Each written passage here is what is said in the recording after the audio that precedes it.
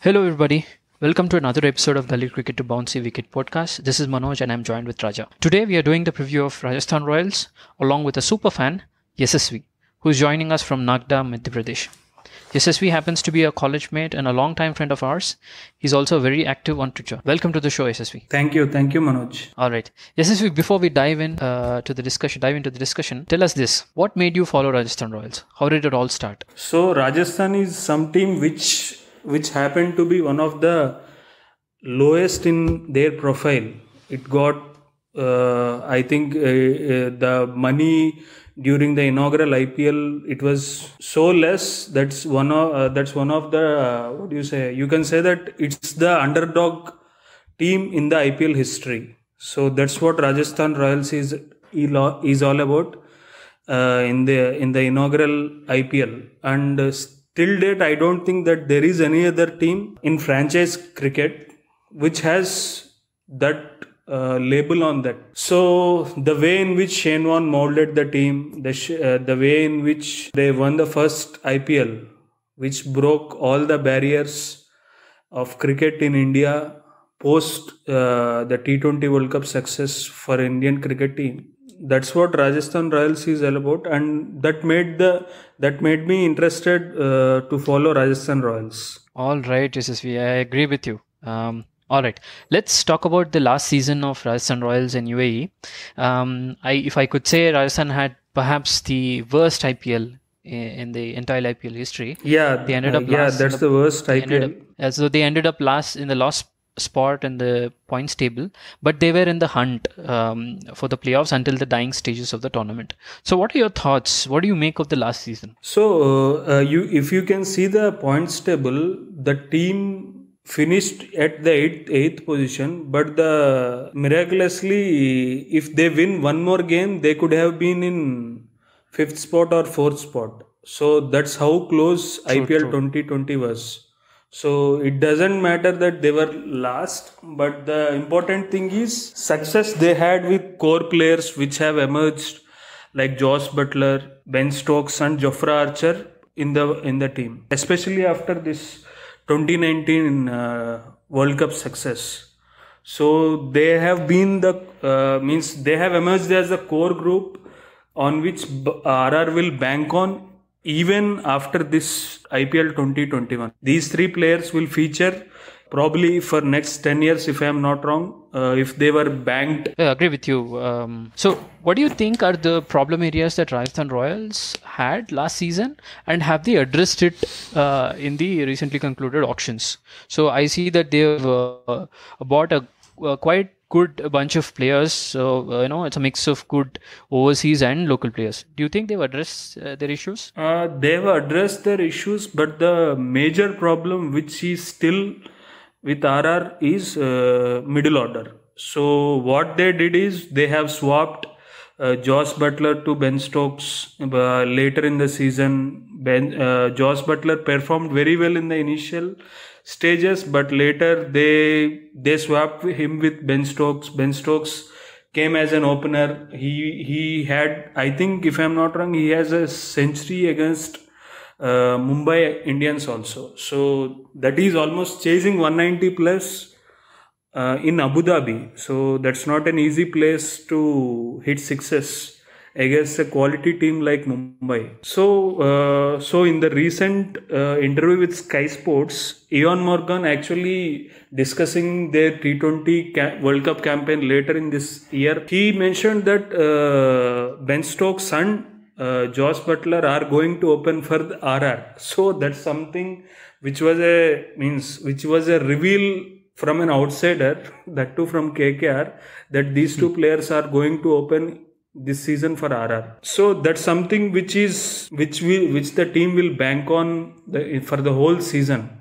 So these two players will open, and if one of them can carry on to bat until 16th or so you may see one of them hitting at least 80 plus runs. So their style of play, their the way in which they approach the uh, while chasing a target or uh, putting on a score, it's going to be a massive headache for any bowler. If one of these two players can settle in and go big. You, we have seen that from Buttler, right from the I think uh, when he was in Mumbai Indians also some three years ago he did that and he did some at least seven to eight times for RR also. So Stokes was a revelation last year. Even in the second ODI also, we have seen Stokes hitting some of the cleanest sixes over long on and over deep mid wicket, over long off, anywhere you know. So Stokes is some of the best players and he's an champion. So the problem areas in the middle I don't think they have addressed. They are they are just hoping for some miracle from Sanju Samson. Hopefully he can do some 30 balls 50, some 40 balls 60s or 70s, something like that. And they have got Chris Morris this year. I think he was picked for 16.5 CR, which was the I think after Yuvraj Singh he was the uh, highest pick uh, in an auction. So they were expecting him to be a finisher. I too think middle order is one of the weak links at the moment, and they will surely try to you know overcome that with the players that they've picked.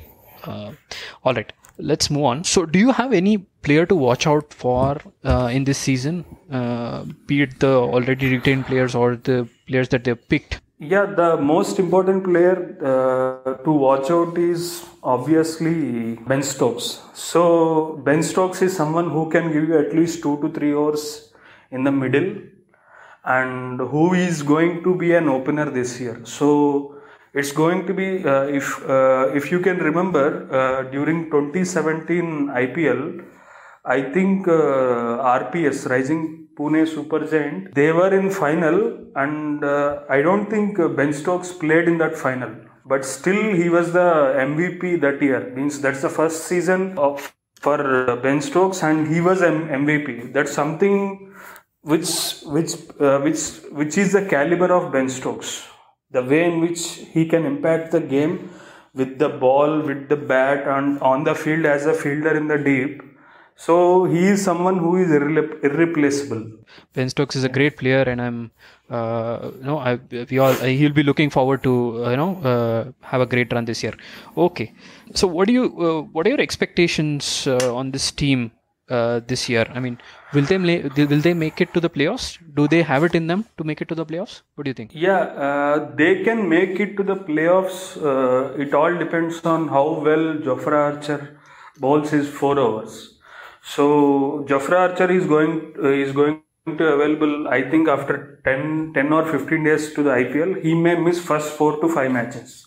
If RR can win at least two to three in those first five matches, Jofra Archer is going to come and play, and uh, so the whole uh, success for RR depends on how well the English players perform. So there are there are some, I think, four English players in the squad, and three of them are uh, what they are the core group for the England cricket team. Uh, so Jofra Archer is an impactful player, and how if he can pick at least one to two wickets in the power play, and if he can bowl very good death bowling at uh, after 15 overs, so it's going. It's not going to be easy for any team to face these players. So apart from Sanju Samson, who was made as a captain, I am not sure if eh, it's a very huge responsibility on Sanju Samson, provided the performances which he made. They were just hoping that he recreates what Shreyas recreated in the last two years for DC. So that's something what RR management is all uh, hoping for this year. So I will not be surprised if they perform not so good in the first six to seven matches, they may replace him with Josh Buttler. They may replace him. I'm not sure, but uh, but they may, if provided the scenario in which the team poises. True, true. Uh, I think if if Rajasthan plays to their full potential, uh, let alone uh, making to the fi- uh, playoffs, they can go on and win the tournament. All right. Having said that, so what do you think will be the playing eleven? You know, uh, with which the Rajasthan will start, considering that they will play the first uh, five games in Mumbai. What do you think is the eleven that they will start with? The playing 11 could be uh, Jose Buttler and Ben Stokes opening. So that's ri- uh, right and left combination, which is going to be a headache for any uh, fielding team. That too international, the caliber in which they bat. So Sanju Samson is going to be at number three. From the from Sanju Samson, obviously there will be uh, means the lesser experienced players who who may not uh, who are pretty much new they may do well but they are not bankable unlike any other team where they will have any at least one or two bankable players who at international level. Uh, unfortunately rr doesn't have that. And they are obviously the top heavy team where the top three players have to stay till the at least 18th hour of the game. So josh butler ben stokes Sanju Samson will be at number three. Riyan Parag, who is uh, an exciting talent from Assam, at number four. And then there could be three all-rounders: Rahul Tewatia, Shivam Dube, Chris Morris. These three can feature in at the middle order. Uh, Shreyas Gopal can be a leg spinner. Andrew Tye, uh, because Jofra Archer is not available for the first four to five games. Jaydev Unadkat, who is a seasoned workhorse for uh, RR since I think for uh, last six to seven years, and uh, then Kartik Tyagi, who is also a pacer who can bowl at least 140, 145 clicks. Quite inexperienced team, but still they can make on, big only with these uh, uh, English star players. All right, yeah. So that seems to be a super 11 on the paper at least. With this, let me open up the forum, Yeah. f- forum for some more questions. So if the panel has any questions, Yeah. please go ahead. Oh, that was a fascinating discussion, guys. Uh, so I have a point uh, that I wanted to ask you. So we know that uh, you've already addressed it uh, in the discussion uh, just now that uh, Jofra Archer wouldn't be available for the first uh, few games, and added to that, uh, guy Mustafizur Rahman is also not available for the first uh, two games, uh, if I'm not wrong. And uh, then uh, Morris, Chris Morris hasn't played after the last IPL.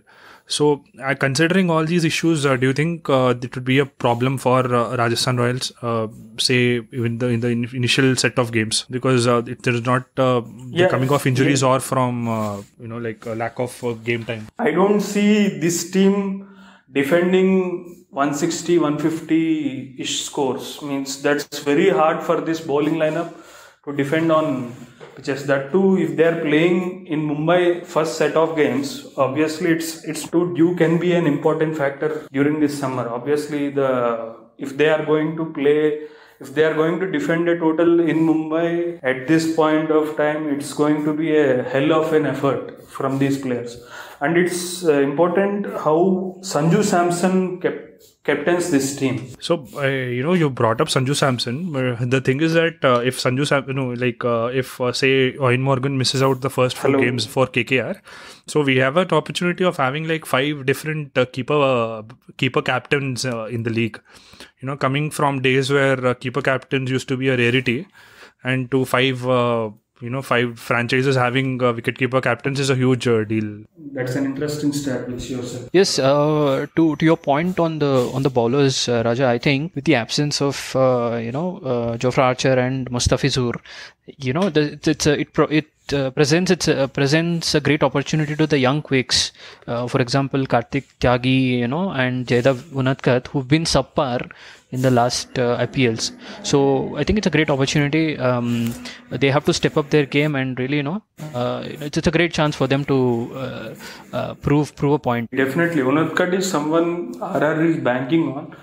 I can remember him playing for RR. I think back in 2013-14 also means it's the franchise has a means he his his affinity with uh, this franchise is somewhat uh, more than seven to eight years old. Correct, correct. So I think it's time for him to have a good season.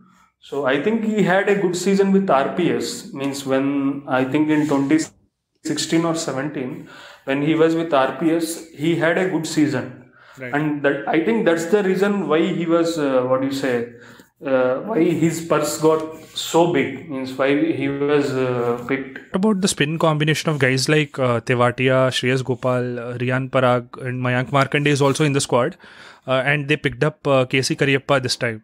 Uh, it's not a threatening uh, spin uh, segment, do you think? What, what do you guys think about it? I think they instead I of think uh, uh, Shreyas Gopal has a very much ordinary season in 2020. I think in 2019 he was good. Right. Means he had a good uh, season where he, I think he had picked some 16 or 18 wickets in 2019 IPL.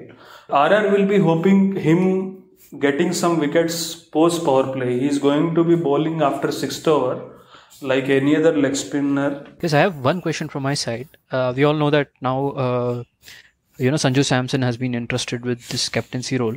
So, what do you think? Will will he enjoy this role, uh, or do you you see this is uh, this as an added responsibility? Yeah, Sanju Samson has has this thing with, him. Means uh, if he hits the ball, he is one of the sweetest timers. Means uh, he is one. He is he is he is the kind of player who whom we can call as a successor to the Rohit Sharma. So he has that elegance in him. He has that extra bit of time compared to many other players like Inzamam ul Haq, Rohit Sharma. So these players have that uh, elegance with him. How he performs with the bat is one of the interesting facets of his definition of captaincy. He is now 26 years old. If he can has a, if he can have a very good IPL this year with the bat, obviously he will be backed as a captain for RR. I do agree with uh, what Yashasvi has said to an extent that uh, I think Rajasthan saw uh, in Sanju Samson something they wanted to retain for uh, a long time and also someone that uh, they wanted to uh, grow into the kind of leader that say someone like a Shreyas Iyer has gotten into. He he's he's a uh, he's a mercurial batsman in the sense that he's very uh, when he looks good when he gets going he looks really good and when he gets out he looks really bad. And added to that the burden of captaincy might just uh, you know make things a little more difficult for him in his head. But uh, on the flip side of it, it may also get him that uh, responsibility to play longer and stay longer because what happens is that he's either gets going or gets out. So maybe that switch will uh, happen.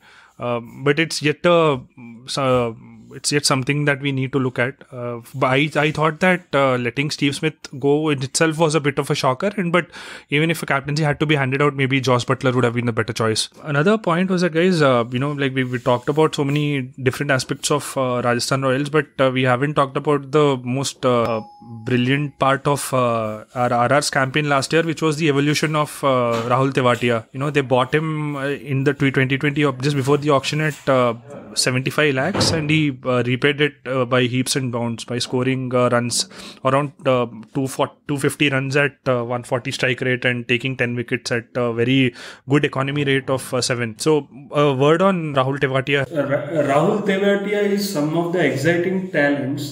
He can be a finisher and he can bowl at least two to three overs. That's something which we can expect from Rahul Tewatia. Manoj, what are your thoughts? Uh, thanks, Raja, from uh, for bringing up this point. Yeah, I agree. I mean, he has been a sort of revelation in the uh, in the last season. I think uh, if he performs consistently even this year, he will be soon in the you know you never know in the Indian T20 side. Another point that I wanted to ask was that uh, biggest stories to come out of the 2020 uh, IPL auction was that uh, uh, RR had purchased uh, guys someone like Yashasvi Jaiswal for a lot of money, uh, around uh, running into crores, but he ended up playing only two two games, uh, if I'm not wrong. So, do you think uh, there is a scope for giving him um, a bit more opportunity and uh, maybe give him a bit of a run because the tournament again it's being played in most of he they're starting off their campaign in Mumbai. So, as a local boy, do you think there is an opportunity for uh, Yashasvi Jaiswal to get a spot here? Yeah, he is an under. He, he has a very good uh, under 19 tournament, and uh, even though India lost, he was a he was an ex, he's an exciting talent for India in the future. But it's not easy for him because obviously Pacers are going to get him. Means I think last year he was he played only three games, two or three games because the whole reason is he he is unable to add that value in the team. Means he's unable to hit those boundaries. Bowlers are bowling short to him. He is quite young to face those quickies in the power play. So it's unlikely for uh, Yashasvi Jaiswal to open the innings with any of these two players. All right, Yashasvi. So with that, I would like to bring this episode to a close. Thanks a lot for your great insights, Yashasvi. That's all for this week, guys. Yeah, thank you. Catch you on another episode of Gully Cricket to Bouncy Wicket podcast. Bye bye.